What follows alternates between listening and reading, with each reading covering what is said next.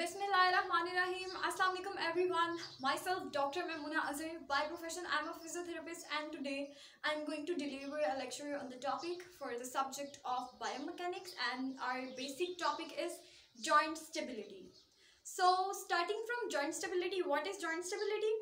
Uh, ability of a joint to resist abnormal displacement of articulating bones. So what is that abnormal displacement, displacement which is occurring in articulating bones and creating some kind of mechanisms which is resulting in dislocation and subluxation. If there are some abnormal forces, abnormal compressive or twisting forces on our joint that can lead to subluxation and dislocation.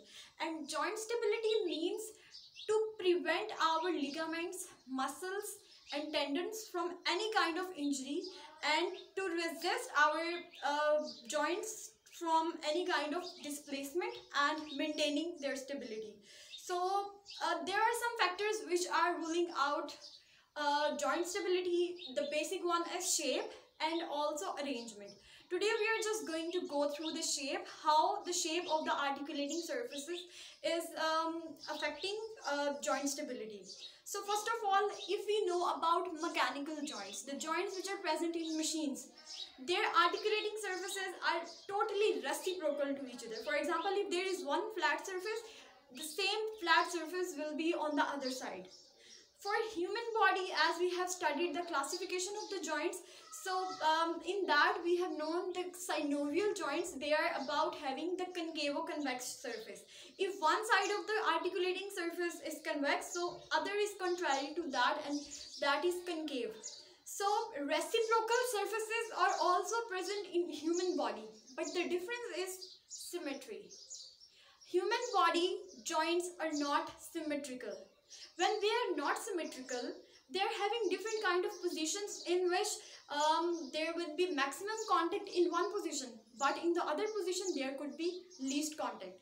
So the position in which the joints are best fit into each other best fit into each other. For example, this is the movement of a joint and this is the position in which the joint is best fit into each other and maximum contact into articulating surface that is close pack position and contrary to that there is open pack position or loose pack position in which joint surfaces are least in contact with each other and they are not having any kind of that kind of best fit which was in close pack position.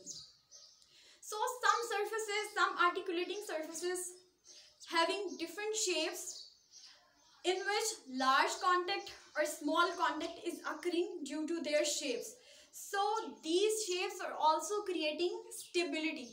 How this stability is occurring? Uh, in some cases stability is less and in some cases stability is higher.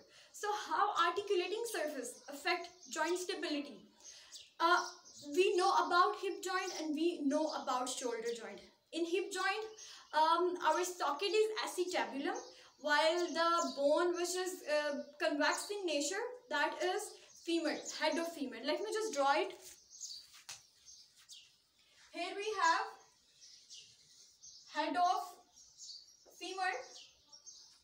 Contrary to that, we have a deep socket for acetabulum. So, in this joint, in this hip joint, they are having maximum contact with each other. So, this kind of joint will be considered very stable joint because the surfaces, articulating surfaces are mostly in contact with each other. Contrary to that, we have shoulder joint. We know that in shoulder joint, we have glenoid fossa and um, glenoid fossa. Let me just draw it. Glenoid fossa with humeral head. For example, this is humerus and this is glenoid fossa. If we compare these two joints, there is a maximum contact, but there is, contrary to that, there is least contact.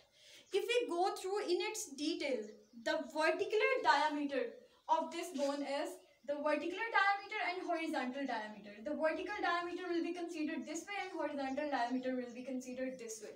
So the vertical diameter is 75% of the humeral head while the horizontal diameter is 60% of the humeral head. So the change in shape is also creating changing in stability.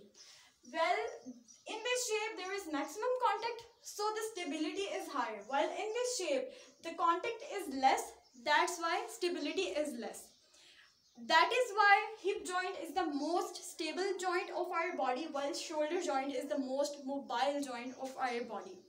So this is the way slight changes in anatomical positions results in increased or decreased stability.